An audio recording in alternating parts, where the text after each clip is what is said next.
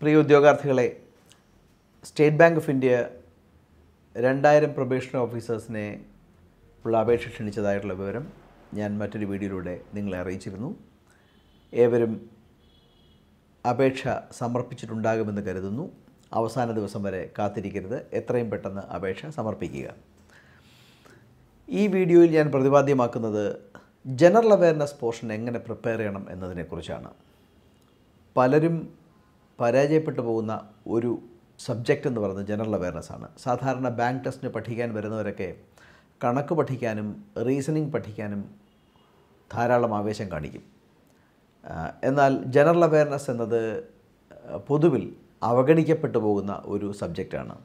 എന്നാൽ ഒന്ന് ആലോചിച്ച് നോക്കുക ജനറൽ അവയർനെസ് ആണ് സ്കോർ ചെയ്യാൻ ഉറപ്പായും സ്കോർ ചെയ്യാൻ പറ്റുന്ന ഒരു ടോപ്പിക്. കാരണം സ്റ്റാഫ് സെലക്ഷൻ പരീക്ഷ എന്നതിലൊക്കെ വിഭിന്നമായി കറണ്ട് ഇവൻസ് ആണ് ചോദിക്കുന്നത്. അപ്പോൾ ഒരു മൂന്നോ നാലോ മാസങ്ങളിലുള്ള കാര്യങ്ങളാണ് ചോദിക്കുന്നത്. അതുമായി ബന്ധപ്പെട്ട ക്വസ്റ്റ്യൻസ് ആണ് ചോദിക്കുന്നത്. പക്ഷേ വളരെ ഡീപ്പായിട്ട് ചോദിക്കാറുണ്ട്. അപ്പോൾ പക്ഷേ അപ്പോൾ ഈ നാല് മാസം ഭംഗിയായി ജനറൽ അവയർനെസ് പത്രവാർത്തകൾ കവർ ചെയ്യുകയാണെങ്കിൽ നിങ്ങൾക്ക് ഷുവർ ഷോട്ടാണ് ജനറൽ അവയർനെസ്സിലെ ചോദ്യങ്ങൾ. അതുമാത്രമല്ല നിങ്ങൾ കണക്ക് നന്നായി പഠിക്കുന്നു റീസണിങ് നന്നായി പഠിക്കുന്നു എന്നിരിക്കട്ടെ. എങ്കിലും പരീക്ഷയ്ക്ക് ഒരു ചോദ്യം ചോദിക്കുമ്പോൾ നിങ്ങൾ സമയമെടുത്ത് ചെയ്തു നോക്കിയിട്ട് മാത്രമേ ഉത്തരത്തിലെത്താൻ പറ്റൂ. എന്നാൽ ജനറൽ അവയർനെസ് ആണെങ്കിൽ നിങ്ങൾക്കറിയാമെങ്കിൽ സ്പോണ്ടേനിയസ് ആയിട്ട് അപ്പോൾ തന്നെ ഉത്തരം എഴുതാൻ കഴിയും. അതാണ് വ്യത്യാസം. അപ്പോൾ ജനറൽ അവയർനെസ്സിൽ സമയം ചെലവഴിക്കുകയാണെങ്കിൽ നിശ്ചിത ക്ലിപ്ത സമയത്തിനുള്ളിൽ തന്നെ മാക്സിമം മാർക്ക് സ്കോർ ചെയ്യാൻ കഴിയും. നിങ്ങളുടെ സ്കോറിംഗ് കണക്കിലോ റീസണിങ്ങിലോ അല്പം കുറയുകയാണെങ്കിൽ കൂടെ ജനറൽ അവയർനെസ്സിൽ അത് ഭംഗിയായി കോമ്പൻസേറ്റ് ചെയ്യാൻ കഴിയും. വർഷങ്ങൾക്ക് മുമ്പേ ഇത്തരം പരീക്ഷകൾക്ക് പഠിക്കുന്ന സമയത്ത് ഞങ്ങളുടെ കാലഘട്ടത്തിലുള്ളവരൊക്കെ ജനറൽ അവയർനെസ്സാണ് ഏറ്റവും കൂടുതൽ ഫോക്കസ് ചെയ്തിരുന്നത്. കാരണം ജനറൽ അവയർനെസ് ഫോക്കസ് ചെയ്താൽ ഞങ്ങൾക്ക് വളരെ പെട്ടെന്ന് ഞങ്ങൾ ഓവറോൾ സ്കോർ മുന്നിൽ കൊണ്ടുവരാൻ പറ്റുമെന്ന് അറിയാമായിരുന്നു. എങ്ങനെയാണ് ജനറൽ അവയർനെസ്സിന് പഠിക്കേണ്ടത്? എത്ര മാസത്തെ ക്വസ്റ്റ്യൻസ് ഒക്കെ വരാം? പൊതുവിൽ ഈ ഒരു ഡിജിറ്റൽ ഈറയാണ് എക്സാമിനേഷൻ സംവിധാനങ്ങൾക്കും വളരെ ക്ലോസർ ഡേയ്സിൽ നിന്നുള്ള ചോദ്യങ്ങൾ വരെ ചോദിക്കാൻ പറ്റും. ഞങ്ങളുടെ കാലഘട്ടത്തിൽ പേപ്പർ പരീക്ഷയായിരുന്നു. അപ്പോൾ ഒരു രണ്ട് മാസം മുൻപ് ഒന്നര മാസം മുമ്പ് വരെയുള്ള കാര്യങ്ങൾ അതിനുശേഷം പിന്നെ അവർക്ക് ചോദിക്കാൻ പറ്റില്ല. പരീക്ഷയ്ക്ക് ഒന്നര മാസം മുമ്പ് പിറകിലുള്ള ചോദ്യങ്ങൾ മാത്രമേ അവർക്ക് ചോദിക്കാൻ പറ്റുള്ളൂ. കാരണം ക്വസ്റ്റ്യൻ സെറ്റ് ചെയ്യണം. ഇതെല്ലാം പ്രിന്റ് ചെയ്യണം വിവിധ പരീക്ഷാ കേന്ദ്രങ്ങളിൽ എത്തിക്കണം. ഇപ്പോൾ അങ്ങനെയൊന്നും അല്ലല്ലോ ഇപ്പോൾ എല്ലാം ഓൺലൈൻ ആണല്ലോ. അതുകൊണ്ട് തന്നെ വളരെ എക്സാം ഡേറ്റുമായി വളരെ ക്ലോസർ ആയിട്ടുള്ള ജനറൽ അവയർനെസ് വരെ പത്രങ്ങൾ വരെ നമ്മൾ പരിശോധിക്കുകയും വായിക്കുകയും ചെയ്യേണ്ടി വരും. എങ്കിലും ജനറലി നമുക്ക് സൂചിപ്പിക്കാം ഒരു ആറുമാസം അപ്പോൾ ഈ പരീക്ഷ നടക്കുന്നത് ഡിസംബറിലാണ് എങ്കിൽ നമ്മളൊരു ജൂലൈ മാസം മുതലുള്ള ജനറൽ അവയർനെസ് കവർ ചെയ്യണം. അതുതന്നെ ഏറ്റവും കൂടുതൽ ചോദ്യങ്ങൾ വരുന്നത് എക്സാമുമായി ക്ലോസറായ ദിനങ്ങളിൽ നിന്നായിരിക്കാം. അപ്പോൾ ഇപ്പോൾ പ്രിപ്പയർ ചെയ്ത് തുടങ്ങുന്നത് ഇന്ന് മുതലുള്ള പത്രം നന്നായിട്ട് വായിക്കുക. നന്നായി പത്രം വായിക്കുക. ഒരു രണ്ട് മണിക്കൂർ പത്രം വായിക്കുക. ഒരു ഹിന്ദു ന്യൂസ് പേപ്പർ വായിക്കുക. എന്തുകൊണ്ട് ഹിന്ദു എന്ന് ചോദിച്ചാൽ അതാണ് there is only news paper available in this part of the world which has a national coverage ഒരു ദേശീയ അന്തർദേശീയ തലത്തിലുള്ള ഒരു കവറേജ് ഉള്ള നമുക്ക് അവൈലബിൾ ആയിട്ടുള്ള ഒരു ന്യൂസ് പേപ്പർ എന്നത് ഹിന്ദുവാണ്. അപ്പോൾ ദ ഹിന്ദു ന്യൂസ് പേപ്പർ വായിക്കുക. വായിക്കുമ്പോൾ എന്ത് വായിക്കും എന്ന് ചോദിച്ചാൽ ഞാൻ പറയും എല്ലാം വായിക്കണം. റീജിയണൽ നാഷണൽ ഇന്റർനാഷണൽ എല്ലാം വായിക്കണം. പക്ഷേ പരീക്ഷയുടെ പെർസ്പെക്റ്റീവിൽ നിന്ന് നാഷണൽ ഇന്റർനാഷണൽ ഈവൻസ് ആയിരിക്കും പൊതുവിൽ വരാനുള്ള സാധ്യത. അതുപോലെ തന്നെ with an inclination towards financial awareness current financial അവയർനെസ്സിനെ കുറിച്ച് ഒരു ഒരു പ്രത്യേക ധാരണയും ഉണ്ടാക്കിയെടുക്കണം. ഇപ്പോൾ ജി ട്വന്റി സമ്മിറ്റ് നടന്നു. ഈ ജി ട്വന്റി സമ്മിറ്റ് ഒരു ഷുവർ ഷോട്ടാണ് ഇന്ത്യയിൽ നടന്ന ഒരു അന്താരാഷ്ട്ര സമ്മേളനം. ഇന്ത്യൻ ഗവൺമെന്റ് അതിനെ വളരെ പ്രൊജക്റ്റ് ചെയ്താണ് കാണിച്ചത്. അത് വൻ വിജയമാണ് എന്നാണ് ഇന്ത്യൻ ഗവൺമെന്റ് ക്ലെയിം ചെയ്തത്. സ്വാഭാവികമായിട്ടും ലോക നേതാക്കന്മാരെല്ലാവരും തന്നെ നമ്മളുടെ രാജ്യത്ത് വരുമ്പോൾ ലോകത്തിന്റെ അറ്റൻഷൻ നമ്മുടെ രാജ്യത്തേക്ക് വരുന്നു. ഒരു വലിയൊരു സമ്മേളനം നടക്കുന്നു. അപ്പോൾ ആ സമ്മേളനം നടന്നത് എവിടെയാണ്? ഇന്ത്യ ഏത് കോണ്ടെക്സ്റ്റിലാണ് വന്നത്? ഒരു ജോയിന്റ് ഡിക്ലറേഷൻ ജോയിന്റ് കമ്മ്യൂണിക്കേ ഉണ്ടായോ? ഇതിനെക്കുറിച്ച് എന്തൊക്കെ ധാരണകളാണ് അന്താരാഷ്ട്ര ധാരണകളാണ് ഉണ്ടായത്?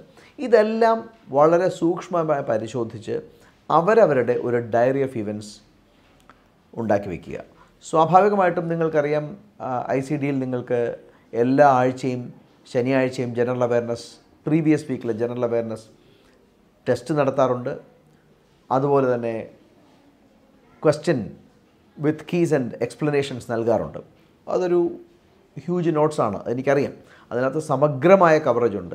കഴിഞ്ഞ കുറച്ച് നാളത്തെ പരീക്ഷകൾ എടുത്തു കഴിഞ്ഞാൽ അറിയാം നമ്മളുടെ നോട്ട്സിൽ നിന്ന് പുറത്തായി വലിയ ചോദ്യങ്ങൾ വരാറില്ല. ഏതാണ്ട് എല്ലാം നമ്മൾ അത്ര ഭംഗിയായിട്ടാണ് കവർ ചെയ്തു പോകുന്നത്. എങ്കിൽ കൂടെ ഞാൻ എപ്പോഴും പറയാറുള്ളത് പോലെ ഞാൻ തരുന്ന നോട്ടിന്റെ പ്രയോജനം പൂർണമായി ലഭിക്കണമെങ്കിൽ നിങ്ങൾ പത്രം വായിക്കണം.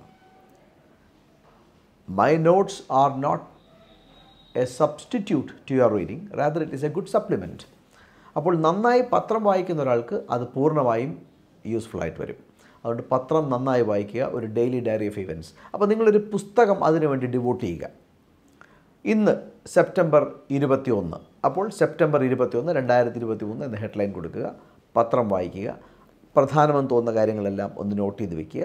എന്നിട്ട് അത് ഒരു ബുള്ളറ്റ് പോയിന്റായിട്ട് നിങ്ങളുടെ നോട്ട്ബുക്കിൽ എഴുതി വയ്ക്കുക ഇങ്ങനെയാണ് പ്രിപ്പയർ ചെയ്യേണ്ടത്. അപ്പോൾ അത് എഴുതി വെച്ചിട്ട് അടുത്ത ആഴ്ച ശനിയാഴ്ച നിങ്ങൾ ആ ആഴ്ച കവർ ചെയ്യുന്ന ഈ സെപ്റ്റംബർ ഇരുപത്തൊന്ന് കവർ ചെയ്യുന്ന ആഴ്ചയിലെ ചോദ്യങ്ങൾ ഞാൻ ചോദിക്കുമ്പോൾ ആ ഇതെല്ലാം എനിക്ക് കിട്ടിയോ? എല്ലാം കിട്ടിയെങ്കിൽ നമുക്കൊരു സന്തോഷം വരും. ഇത്ര നന്നായിട്ട് വായിച്ചിട്ടും ചില ക്വസ്റ്റ്യൻസ് എനിക്ക് ആൻസർ ചെയ്യാൻ പറ്റില്ല. അത് നിങ്ങൾക്കൊരു പുത്തൻ ഉണർവും ഉത്തേജനവുമാകും ഇല്ല അടുത്ത തവണ കുറച്ചുകൂടെ കവർ ചെയ്യണം. ഇങ്ങനെയാണ് നിങ്ങൾക്കൊരു കഥ പോലെ ഒന്ന് ആലോചിക്കുക. A news may first break then it may develop then it will become a story ആദ്യം ഒരു ന്യൂസ് സ്ലോലി ബ്രേക്ക് ചെയ്യും. പിന്നെ അത് പതുക്കെ പതുക്കെ ഡെവലപ്പ് ചെയ്യും വികസിക്കും. ഇതെല്ലാം വായിച്ചു പോകുന്ന ഈ ന്യൂസ് തുടങ്ങുന്നത് മുതൽ ഒറിജിനേറ്റ് ചെയ്യുന്നത് മുതൽ വായിച്ചു പോകുന്ന ഒരാൾക്ക് ഇതൊരു കഥ പോലെ മനസ്സിലാകും.